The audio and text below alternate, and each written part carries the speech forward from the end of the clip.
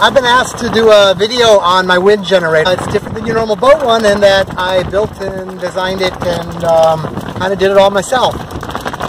Probably the first thing to talk about is the blades. Uh, I carved these from a wood called silverballi. Uh, I picked it up in Grenada. I brought it back as deck cargo, several beams of it, and uh, came up with a little algorithm that would work out the angle at every station. This actually gets flatter as it goes out. And this is a airfoil I got off a NASA site. It's pretty simple actually. And I came up with a scheme for um, doing the carving so it's very consistent. It came up pretty well. I'm pretty happy with them. I've made several of these for other people.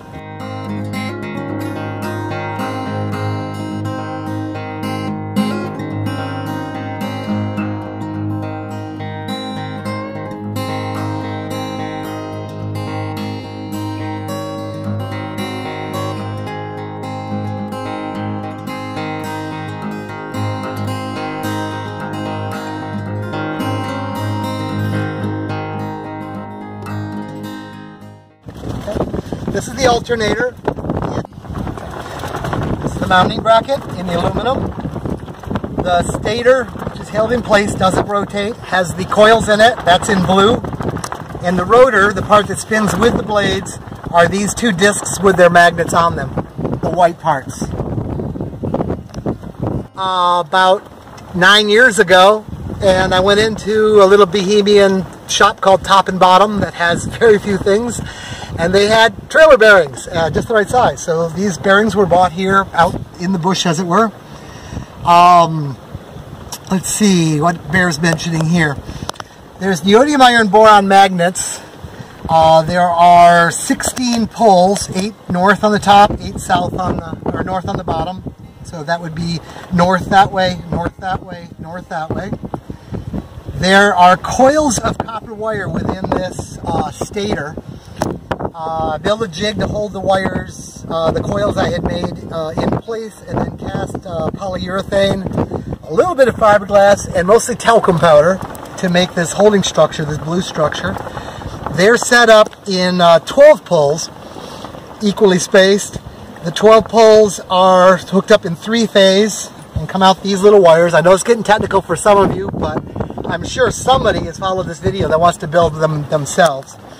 And if you throw 16 poles onto 12 poles of coil, I had to do the math and do graphs to believe it when I came up with it, but um, you end up with a perfect three-phase, uh, 60 degrees out of phase, just exactly what you want coming out of here. Uh, these three wires go into the boat where I have a diode bridge that converts them into 12 volt and a regulator when the voltage gets high it uh, clamps down these two together, or these three together with a big old relay, and that's the braking system.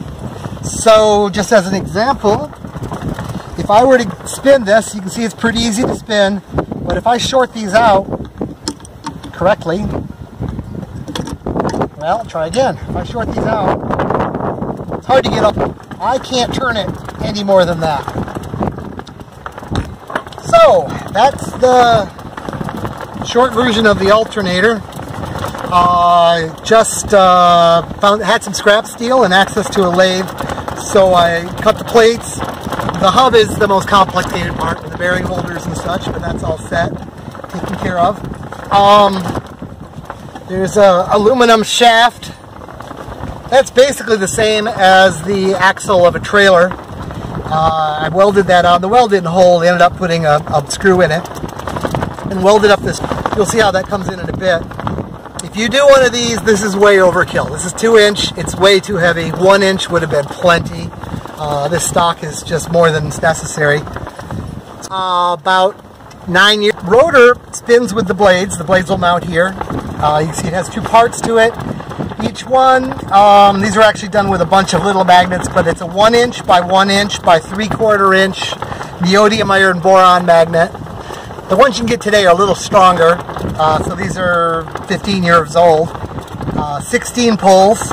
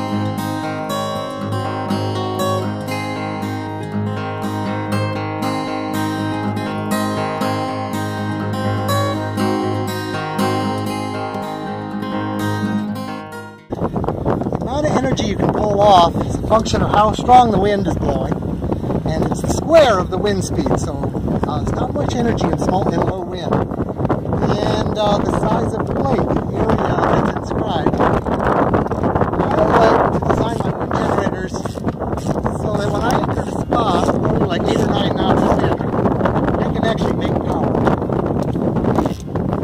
When I get into big winds, it just doesn't matter because there's plenty of power. So everything gets charged up in just an hour or shut it down.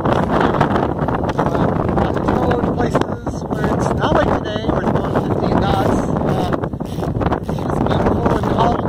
And for that, the wind generator doesn't custom size to it. These large, the iron boron. Make sure you tie down the blade, especially when it doesn't have a tail on it yet, because it'll start spinning and uh, there's no stopping it once it starts spinning if it doesn't have a tail. Okay, we're going to put the tail on now. Tail is the part that keeps the wind generator pointed into the wind. And if you think about a boat, you'd say, oh wow, why doesn't it just mount on the boat? Because when the boat's at anchor, it's pointed into the wind. It's surprising how much it isn't.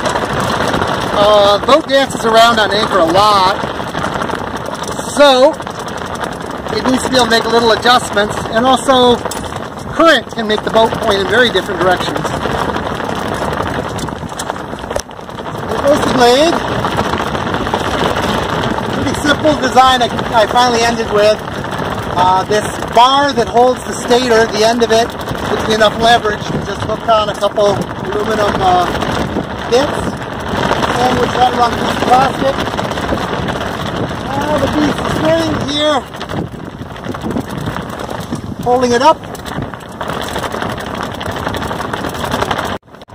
We need a line to hold it down, not so much to hold the tail down, but that gives us a handle for shutting it down. I'll show you that in a bit.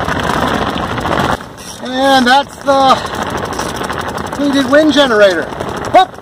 Better hook up the electricity. Hooking up the wires now. See those three wires because this alternator puts out three phase three phase AC. Rectify that inside the boat. I got the uh, stator coils hooked up in a star topology. You can Google this for alternators. Choices are star or delta. Delta gives you more current, star gives you more voltage, and star works better for these.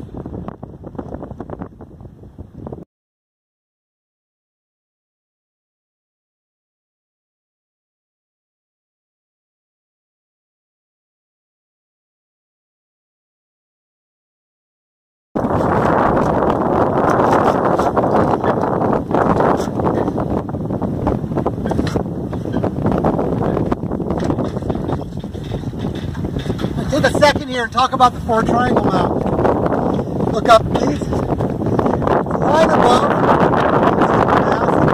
line forward pulls it into the inner forestay. It keeps the top from being able to move a little side to side, but not front back. And down here we have three lines going to three points on the deck. Keeps that lock right into place. In the line, you go across, and uh, blades start by stalling, and then they uh, catch in kind of, and it should take off in a second or two. There it is. It's making electricity.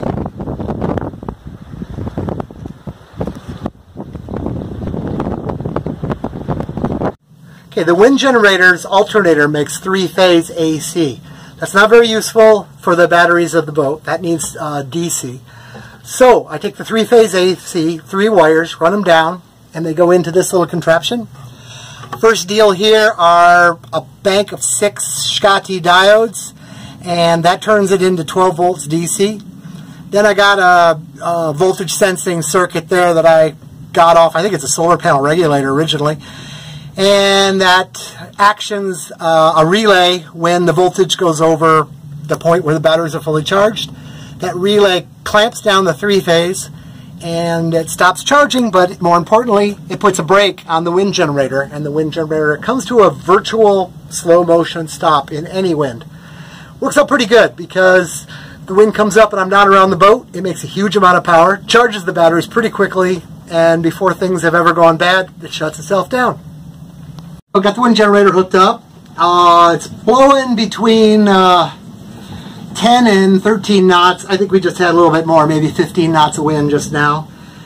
Uh, it's doing pretty good as you can see. This one's set up to make power in very low wind. I trade off the top end. So I put out about 50, 60 amps and 35 knots of wind. But I don't care about that. I want to make power down low. And I think I mentioned before, this one will make appreciable power, you know, 4 or 5 amps, 3 amps, something like that, in uh, 8 or 9 knots of wind. Um, there you go. It's working.